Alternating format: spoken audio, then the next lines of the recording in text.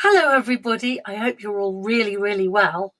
Well, today, Finnegan and I, hello, we're all going to go to the farm. And on the farm, we can find animals and we can also find crops.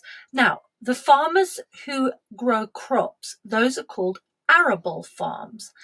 And then the farms that have animals on them are called livestock farms. And if you want to know where your, you get your milk from, it's from a farm because the, the farmer has lots of cows and he milks them. And the same with your eggs. And also, and also butter, of course, and cheese. That all comes from, because it comes from milk.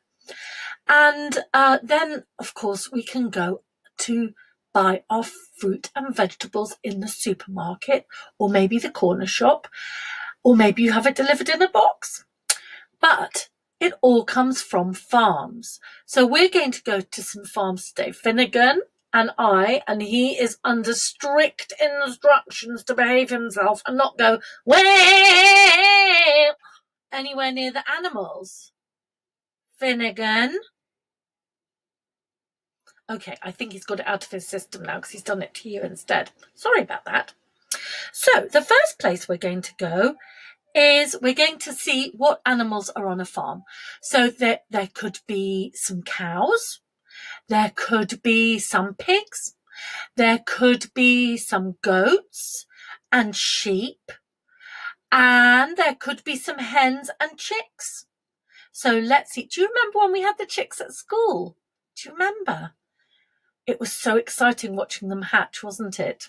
Well, we're going to see if we can see some of those things. And this is a tune you know really well because it's London Bridge is falling down. But we're not doing those words. We're doing these new words. But you've never we've never done this before. But I thought you might like to learn it today. Animals live on a farm, on a farm, on a farm. Animals live on a farm with the farmer. So, what animals are we going to find?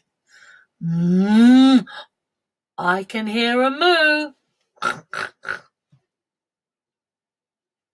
Finnegan, was that you or was that a pig? well, maybe we're going to find some cows and pigs. Cows and pigs live on a farm, on a farm, on a farm. Cows and pigs live on a farm with the farmer. Now, what about this animal that goes meh? That's a sheep, isn't it? But we also have one that goes meh, meh, really similar, but it's a goat. Goats are really clever at climbing, and goats have long ears. Um, and they don't have the curly, curly wool that um, sheep have. But we're going to go and see those things now. Goats and sheep live on a farm, on a farm, on a farm. Goats and sheep live on a farm with the farmer. And then we're going to see these ones. And cheep, cheep, cheep. That's right, hens and chicks. Hens and chicks live on a farm, on a farm, on a farm. Hens and chicks live on a farm with the farmer. Now, do you know what the farmer has down in the field? And this is what Finnegan is so desperate to see. Tractor, Finnegan! There's going to be a tractor! He loves tractors, especially blue tractors. Down in the barn, early in the morning, see the little tractor waiting in the shade. Here comes the farmer to turn the little handle. Oh!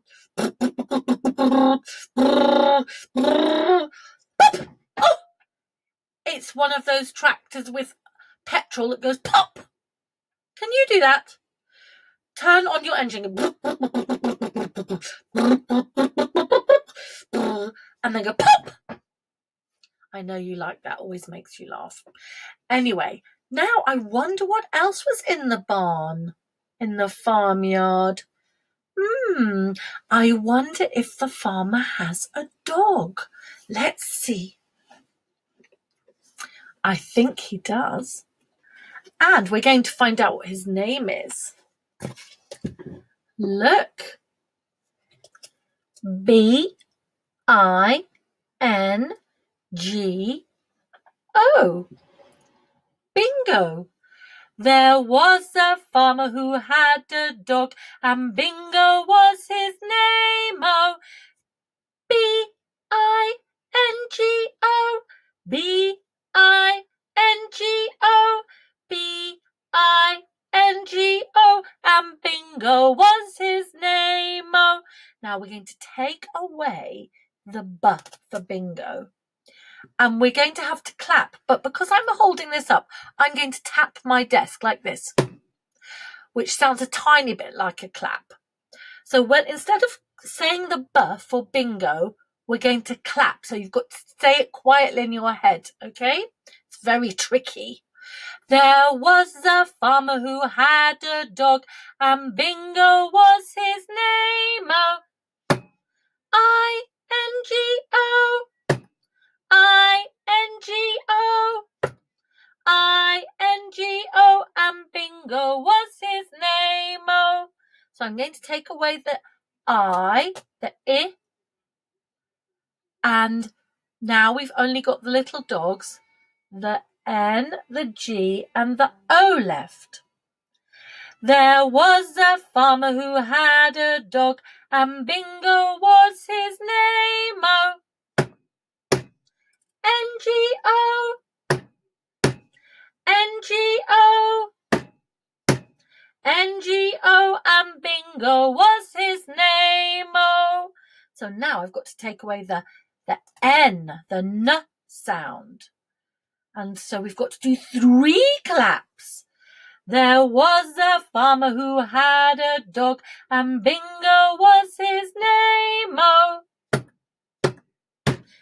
G O G O G O and Bingo was his name. Oh, so I'm going to take away the the G, which makes a G sound. There was a farmer who had a dog, and Bingo was his name. Oh, oh Oh, oh, and Bingo was his name. Oh, now I'm going to take away the O, which does have an O sound, or it has an O sound for orange.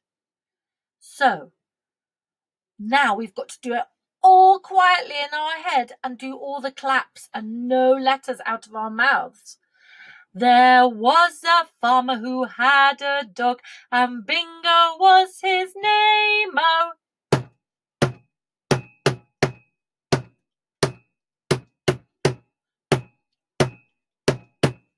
and Bingo was his name. Oh, were you able to do it? It's tricky, isn't it? I hope you didn't make a mistake, but it's a fun, fun song. All right, I'm going to put all the letters back on. So we've got to start with a B for bingo. So here's the B. And then we need to have an I, which has an I sound. There we are. Then we need an N that's got a N sound. Then we have to have a G, which has a G sound. And then, last of all, we need an O that has an O sound, although in this song it has an O sound. Bingo. There we are. So there's all of the bingos back on the on the board with his kennel. And look, he's a lucky dog. He's got a bone. Right, so we'll put Bingo out of the way. And we're going to sing another song now down in the farm about the farmers in his dell. But it's not the one that we do at school where we play the game and we have lots of children and we go in a circle. Because unless you've got a huge family with 12 or 13 brothers and sisters, I think that one's a bit tricky. So we're going to do a different one and it's the same tune, but it's got different words and we can do some actions. And it's all about the farmer planting seeds. So we've been into a farm that had animals. And now we went to a livestock farm. And now we're going to a farm that has got crops, an arable farm. Um, and we're going to plant, what shall we plant? Shall we plant some carrots today? Yes, I think so. Because do you know what? I planted a carrot yesterday. Well, I've done a little experiment in my kitchen, and maybe you could ask mummy and daddy if you could do it too. When you chop off the end of a carrot, now you mustn't chop it because you need a sharp knife. You must ask mummy or daddy to do it for you, one of your grown ups at home. When you chop the end off a carrot, the bit that would have had the green bit sticking out of it, you can put that into a little glass of water and it's supposed to start growing new green leaves. And then you can plant it in the ground and you'll get a new carrot. We'll see. Right, but my potatoes are doing very well. I've got four sprouts up now of potatoes, so hopefully lots and lots of potatoes in a few months' time.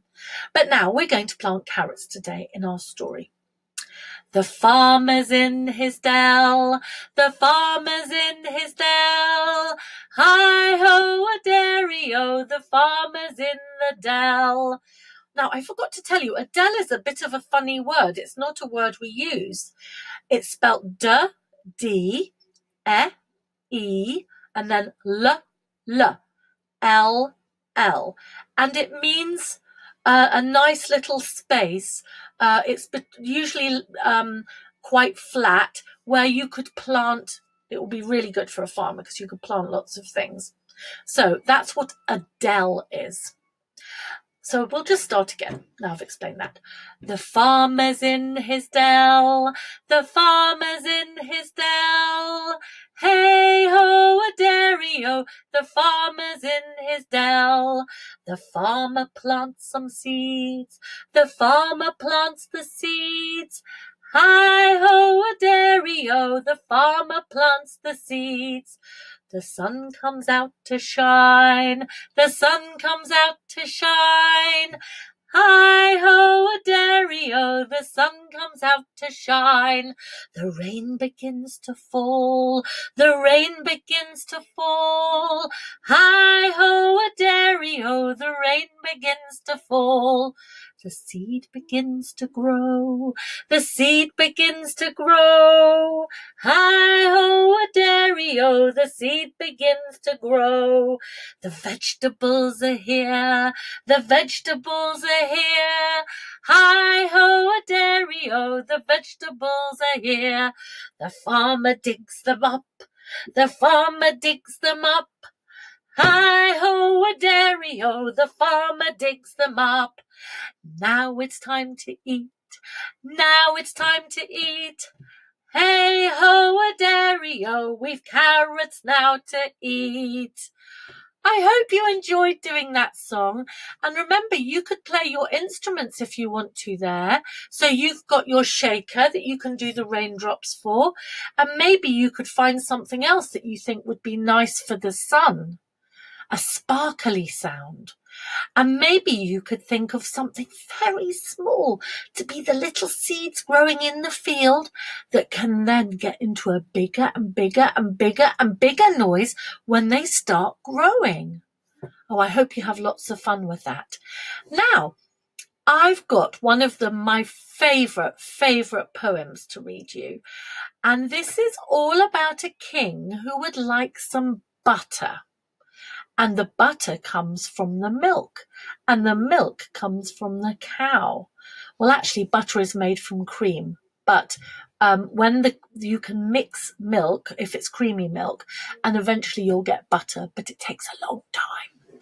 When I was a little girl, my grandmother, one of them, used to live on a farm in Ireland, and we went to see her brother and his children, and I had a go at making butter, and it was great, great fun, but quite hard work. Uh, but I do remember that very fondly from when I was little. So let me just get the book. Now, here it is.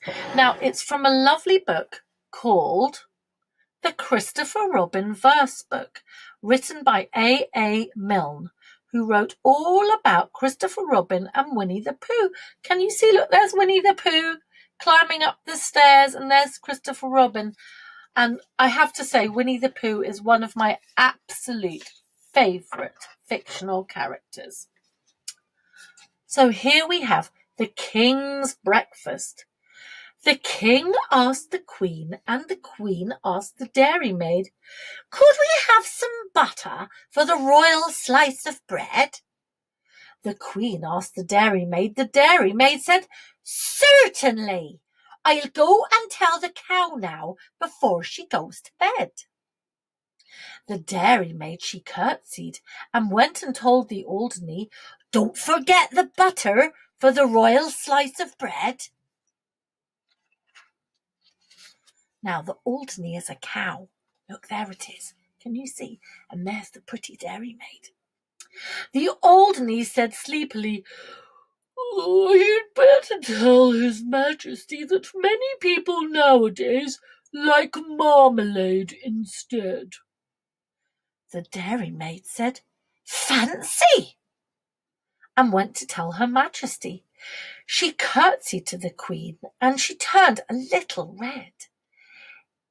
Excuse me, your majesty, for taking of the liberty, but marmalade is tasty if it's very thickly spread.